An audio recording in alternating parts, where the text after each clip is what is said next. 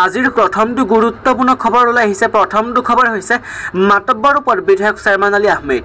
মণ্ডল কংগ্ৰেছৰ সভাপতি গুলীয়াবলৈ নিৰ্দেশ দিলে দেহৰক্ষীক গুলী নকৰাৰ বাবে দেহৰক্ষীক অশ্লীল ভাষাৰে পাৰিলে গালি গালাজ জনপ্ৰতিনিধিৰ শালীনতা অতিক্ৰম কৰি মাতব্বৰ ওপৰত বাঘবৰুৱা বিধায়ক চেয়াৰমেন আলী আহমেদ।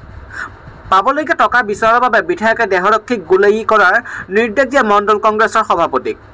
গুলী নকৰাৰ বাবেই দেহৰক্ষীক অশ্লীল ভাষাৰে পাৰে গালি গালাজ এই ঘটনা ঘটে অন কেমেৰাত। ঘটনাৰ বিৱৰণী অনুসৰি আজি মাঘবাৰত বিধায়ক চেয়াৰমান আলী আহমেদে পঞ্চায়তে গৃহ উদ্বোধন কৰাৰ পিছতে উত্তেজনাময় পৰিস্থিতিৰ সৃষ্টি হয়। জানিব পৰা মতে যোৱা বিধানসভা নিৰ্বাচনত বাঘমাৰ্চৰ মণ্ডল কংগ্ৰেছৰ সভাপতি জিন্নাৰ ৰেজাউল ৰেজাকুল আলমে নিৰ্বাচনৰ সময়ত দুই লাখ টকা খৰচ কৰা বুলি সদৰি কৰে। বিগত দুটা বছৰ পাৰ হৈ যোৱাৰ পিছতে টকা নোপোৱাত আজি মণ্ডল কংগ্ৰেছৰ সভাপতিজনে বিধায়কজনৰ ওচৰত পাবলগীয়া টকা বিচৰাত বিধায়কজনে খঙত অগ্নিগৰ্ভ হৈ নিজৰ দেহৰক্ষীক জনসমাজ তথা অন কেমেৰাত মণ্ডল কংগ্ৰেছৰ সভাপতিক গুলী কৰাৰ নিৰ্দেশ দিয়ে। কিন্তু দেহৰক্ষীজনে বিধায়কজনে নিৰ্দেশ পালন নকৰাত তেওঁক অকথ্য গালি গালাজ পাৰে।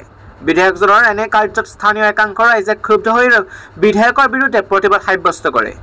বিৰোধী ঐক্যত চিৰালফাট আপ যদি কুমেৰুত অখিল গগৈ সুমেৰুত আপ অখিল গগৈৰ মাজত মুকলি সংঘাত বিৰোধীৰ মাজত শিপাইছে সন্দেহৰ ৰাজনীতি। অসমত বিজেপিক ৰোধ কৰিবলৈ বিৰোধী শক্তিক এক হৈছে। পিছে বিজেপিক ৰোধ কৰিবলৈ ওলোৱা বিৰোধী শিবিৰৰ মাজতে এতিয়া চলিছে সংঘাত। যুঁজবাগৰ ৰাজ্যৰ ৰাজনীতিৰ এতিয়া আম আদমী পাৰ্টীৰ বনাম ৰাইজে দলৰ মুকলি সংঘাত। বিজেপিক ৰোধিবলৈ দেশৰ সকলো বিৰোধী দল প্ৰায় এক হৈছে। এটা নিৰ্দিষ্ট ৰোড মেপ সাজু কৰি তুলিছে বিৰোধী দলসমূহে। এনে এক সময়তে এক হোৱাৰ বিপৰীতে সোমেৰু কুমেৰুত অৱস্থান বিৰোধী শক্তিৰ এ আই ডি এফ কংগ্ৰেছৰ সমানে সমানে আপ আৰু ৰাজ্য দলৰ সমাজৰ দলৰ মাজৰ সংঘাত ইমান গভীৰ হৈছে যে সামাজিক মাধ্যমত মুকলিকৈ দুটা দল সংঘাতত লিপ্ত হৈছে। ইপিনে মে' মাহতে ঘোষণা কৰা হ'ব মেট্ৰিক আৰু উচ্চতৰ মাধ্যমিকৰ পৰীক্ষাৰ ফলাফল। ৰণোজ পেগে মন্তব্য কৰিছে এই মুহূৰ্তত জনাই আচলতে বিগ ব্ৰেকিং নিউজ মে' মাহতে ঘোষণা কৰা হ'ব মেট্ৰিক আৰু হায়াৰ ছেকেণ্ডেৰী পৰীক্ষাৰ ফলাফল।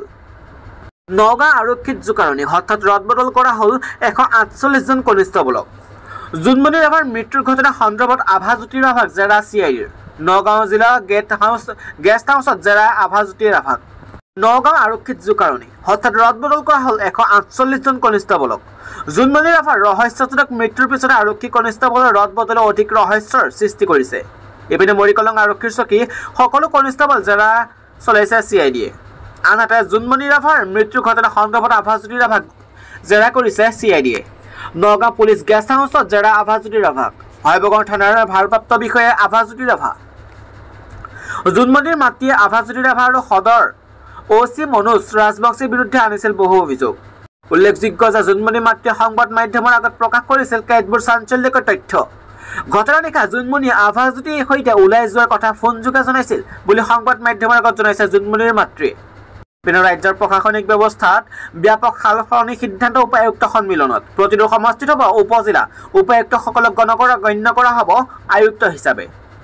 প্ৰতিটো সমষ্টিক একোখনকৈ উপজিলা হিচাপে গণনা গঠন কৰি ইয়াৰ প্ৰশাসনিক মুৰব্বীক উপায়ুক্ত হিচাপে গণ্য কৰা হ'ব বুলি মুখ্যমন্ত্ৰীগৰাকীয়ে সংবাদ মাধ্যমক জানিবলৈ দিয়ে। পোন্ধৰ মে'ৰ পৰা তিনিচুকীয়াৰ কনভেনন কনভেনশ্যন চেণ্টাৰত তিনিদিনীয়াকৈ অনুষ্ঠিত পঞ্চম উপায়ুক্ত সন্মিলনৰ বুধবাৰে সামৰণি পৰে।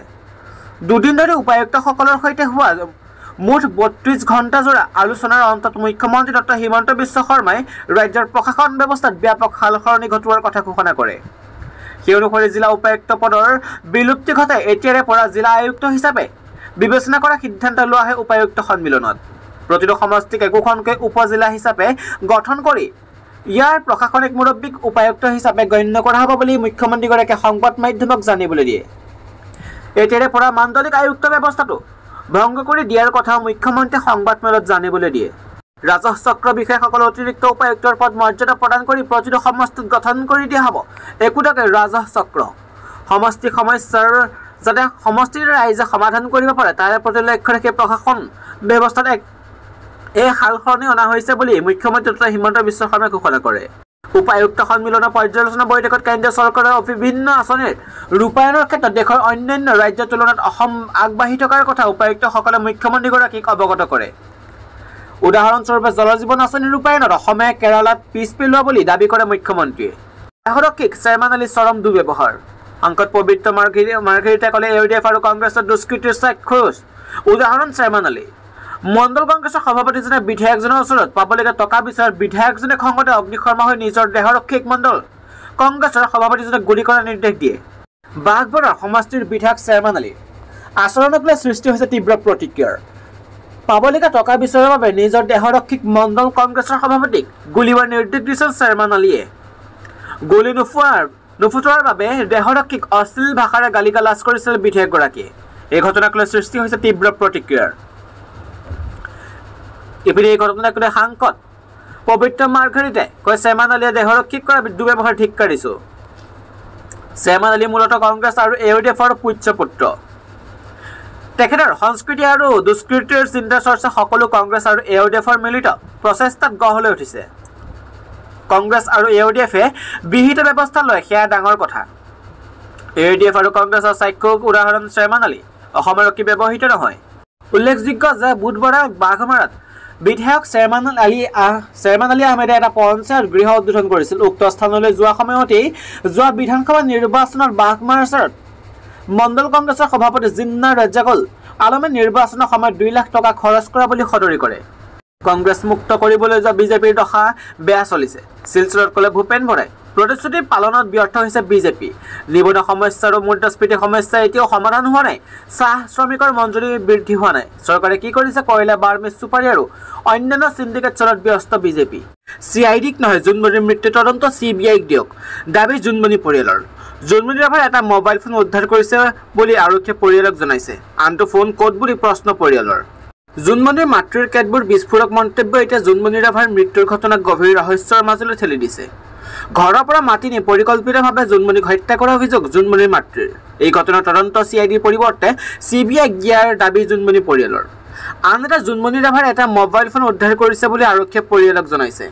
আনটো ফোন ক'ত বুলি প্ৰশ্ন পৰিয়ালৰ। জোনমণি মাতৃৰ অভিযোগ আৰক্ষীয়ে সংবাদ মাধ্যমৰ আগত মুখ ফুৰি মুখ খুলিবলৈ মানা কৰিছিল। ইফালে জোনমণিয়ে দাদা বুলি মতা আৰক্ষী বিষয়াই আভাজ্যোতি ৰাভাই এতিয়ালৈ জোনমণি পৰিয়ালৰ কোনো খবৰ নোলোৱা অভিযোগ পৰিয়ালৰ। জোনমণি মাতৃয়ে কয় যে নিশা দুইমান বজাত ঘৰলৈ গৈছিল আৰক্ষী দুৱাৰত নক কৰিছিল।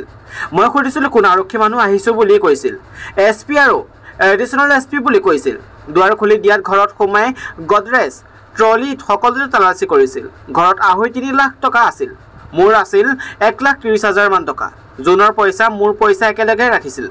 তালাচী চলোৱাৰ পিছত উকা কাগজত মোৰ টিপ চহী লৈছিল আৰু তাৰ পিছত টকা পইচা সামৰি গুচি আহিছে। ইপিনে কৰ্ণাটকৰ নতুন মুখ্যমন্ত্ৰী হ'ব সিদ্ধাৰামাই। ওঠৰ মেত কান্তিৰাও ষ্টেডিয়ামত শপত গ্ৰহণৰ অনুষ্ঠান অনুষ্ঠিত হ'ব। কৰ্ণাটক বিধানসভা নিৰ্বাচনৰ ফলাফল ঘোষণা হোৱাৰ প্ৰায় চাৰিদিনৰ পিছত কৰ্ণাটকৰ নতুন মুখ্যমন্ত্ৰীৰ নাম চূড়ান্ত কৰা হৈছে। কংগ্ৰেছে আজি দহ জনপথত এখন বৈঠকৰ পিছতে সিদ্ধাৰামাইক কৰ্ণাটকৰ পৰৱৰ্তী মুখ্যমন্ত্ৰী বনোৱাৰ সিদ্ধান্ত লৈছে। ওঠৰ মেত কান্তিৰাও ষ্টেডিয়াম শপত গ্ৰহণ অনুষ্ঠান অনুষ্ঠিত হ'ব। এই অনুষ্ঠানত দহজন মন্ত্ৰীয়ে মুখ্যমন্ত্ৰী আৰু উপ মুখ্যমন্ত্ৰীৰ সৈতে শপত গ্ৰহণ কৰিব। মেদবহুল সুৰাপান কৰা আৰক্ষীৰ বাবে অসম চৰকাৰৰ কঠোৰ নিৰ্দেশনা হেৰুৱাব লাগিব চাকৰি। ৰাজ্যিক আৰক্ষীয়ে এনে ছয়শ পঞ্চাছটা নামৰ পঞ্চাছটা নামৰ এখন তালিকা চূড়ান্ত কৰিছে যাৰ বি এম এ নিৰ্ধাৰিত নিয়ম অনুসৰি নহয়। অসম আৰক্ষীৰ কৰ্মচাৰী আৰু বিষয়াসকলক তেওঁলোকৰ বি এম এ সংশোধন কৰিবলৈ নিৰ্দেশনা দিয়া হৈছে। তেওঁলোকক শাৰীৰিক সক্ষমতাৰ পৰীক্ষা অৰ্থাৎ ব্যক্তিগত বডি মাছ ইণ্ডেক্স পৰীক্ষা কৰিবলৈ তিনি মাহৰ সময় দিয়া হয়। এই পৰীক্ষাত অসমৰ আই পি এছ আৰু এ পি এছ বিষয়াৰ পৰা আৰম্ভ কৰি আৰক্ষী বাহিনীৰ জোৱান সকলোৱে বহিব লাগিব বুলি আৰক্ষী সঞ্চালক প্ৰধানে জনায়। অসম আৰক্ষীক পোন্ধৰ আগষ্টৰ পিছত পোন্ধৰ দিনলৈ অৰ্থাৎ ত্ৰিছ আগষ্টলৈ বি এম এ পৰীক্ষা কৰিবলৈ কোৱা হৈছে। বি এম এ পৰীক্ষাত বিফল হ'লে অৰ্থাৎ যিসকল মেদবহুল লোক বি এম এ ত্ৰিছ শতাংশ প্লাছ শাখাত পৰিব তেওঁলোকক স্বাস্থ্য নিৰ্ধাৰিত অৱস্থালৈ ঘূৰাই নিবলৈ নৱেম্বৰ মাহলৈ আকৌ তিনিমাহ সময় দিয়া হ'ব। যিসকলে নিজৰ স্বাস্থ্য নিৰ্ধাৰিত অৱস্থালৈ ঘূৰাই আনিব নোৱাৰিব তেওঁলোকক অযোগ্য ঘোষণা কৰি বাধ্যতামূলক স্বেচ্ছামূলক অৱসৰ দিয়াৰ ব্যৱস্থা হ'ব। অৱশ্যে থাইৰয়ডৰ আদিৰ দৰে যুক্তিসংগত চিকিৎসাজনিত কাৰণ থাকিলে সেইসকল মেদবহুল আৰক্ষী বিষয়া জোৱানসকলৰ বাবে ৰেহাইৰ ব্যৱস্থা কৰা হ'ব। অসম আৰক্ষী সঞ্চালক প্ৰধান জি পি সিঙে এক টুইটযোগে লিখিয়ে লিখে যে আৰক্ষীৰ মুখ্য কাৰ্যালয় I P S A P S বিষয়াৰ সকলো D E F B N সংগঠনকে ধৰি সকলো অসম আৰক্ষী কৰ্মী বডি মাছ ইণ্ডেক্স ৰেকৰ্ডিং কৰাৰ সিদ্ধান্ত লৈছে। আমি পোন্ধৰ আগষ্টলৈকে আই পি এছ আৰু এ পি এছ বিষয়াসহ সকলো অসম আৰক্ষী কৰ্মীক তিনি মাহৰ সময় দিয়া পৰিকল্পনা কৰিছোঁ। আৰু তিনি আৰু তাৰ পিছত পৰৱৰ্তী পোন্ধৰ দিনৰ ভিতৰত বি এম এ মূল্যায়ন আৰম্ভ কৰাৰ পৰিকল্পনা কৰিছোঁ।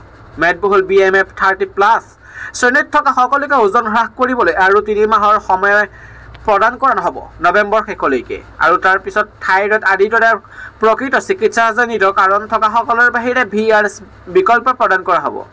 এই মুহূৰ্তত আছে বিগ ব্ৰেকিং নিউজ দোকানীয়ে আপোনাক প্ৰবঞ্চনা কৰিছে নেকি? আপোনাৰ দিয়া সামগ্ৰীখিনিৰ লগত ঠগ প্ৰবঞ্চনা কৰিছে নেকি?